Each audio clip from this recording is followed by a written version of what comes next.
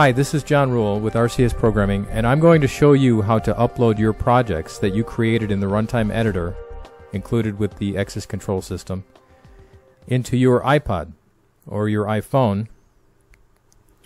And this is a first generation 8 gigabyte iPod, and there's nothing special about it. In fact, it's probably the, the low end, very low powered, and if it works on this, it should work on anything. In fact, I expect that the uh, the behavior will be much improved. And what I have here is I already have a an installed application. So what I'll do is I'll just go to that. As you can see, I had an icon and a startup screen, and it goes right into uh, full screen mode for your application for control. And this uh, this application actually has pop-ups uh, and the logic that controls the pop-ups, which is which is already programmed in your in your runtime editor user interface. So it's converted and uploaded for you. And what you can see on this is that uh, we have in the upper left corner is we have the, the, the bars that indicate wireless connect connectivity.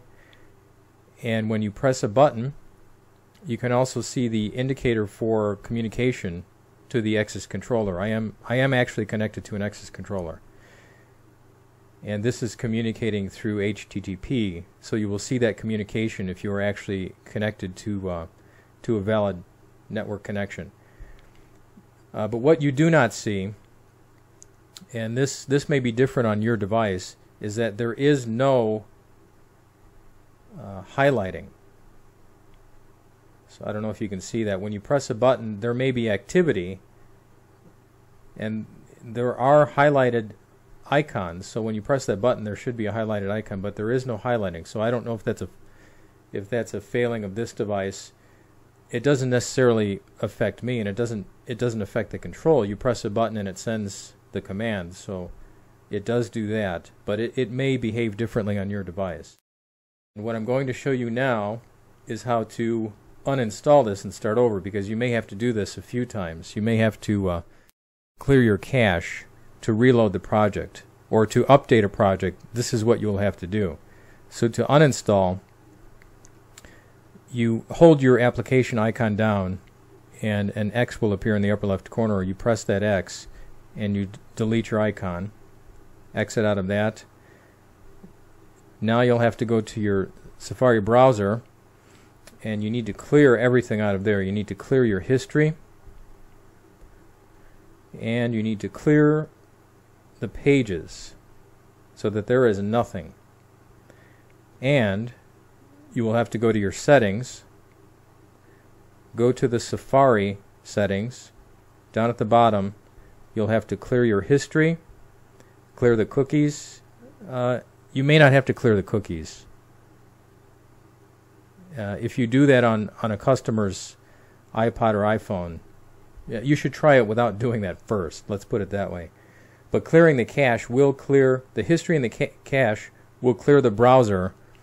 The cookies is just uh, something that I do just to make sure that everything's cleared. You may not have to do that, is what I'm saying. So try it first without clearing the cookies. You just need to make sure that nothing is in there, that's all.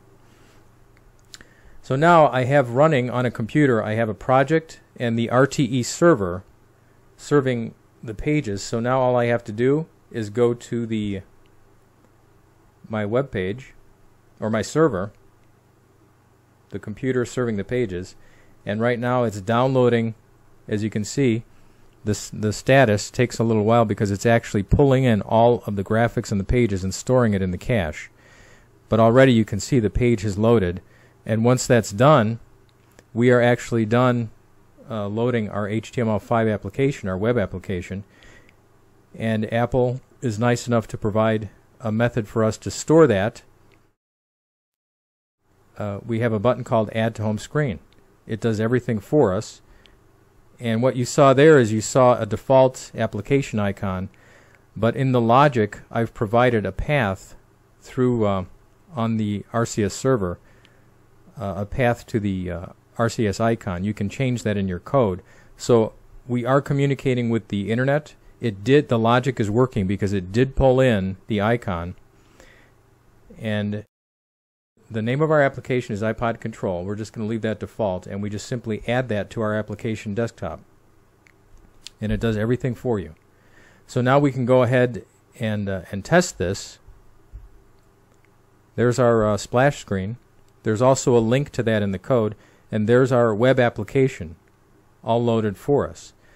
Now what we can do is we can just go ahead and start pressing buttons to see if we are communicating, but we should also make sure that uh, the server is turned off on the computer that just served these pages. And just to make sure we should delete let's go ahead and delete everything out of this cache. So there's nothing there.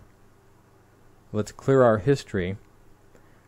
But do not go to the settings and clear that history because that cache is now maintaining the cache for the loaded web application. That will clear that out. So leave that alone this time.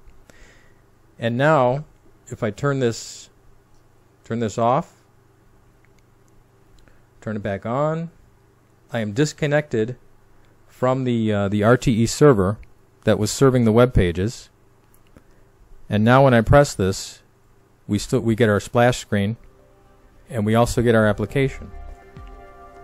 And we get our pop-up so that means our logic is intact. And when I press a button we do have communication. And that is our stored web application using the uh, the XSYS control system and the runtime editor.